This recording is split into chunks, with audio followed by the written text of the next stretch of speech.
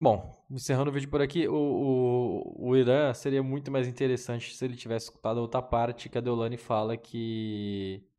Ela falou exatamente isso, né, do entretenimento. Acho que ele tá falando que é da Morango, né, mas ele tinha que ter escutado a parte da Deolane, que a Deolane, a Deolane fala assim: é, entretenimento que, né? É, o, o Irã não, não gera entretenimento nenhum e ela fala num tom agressivo.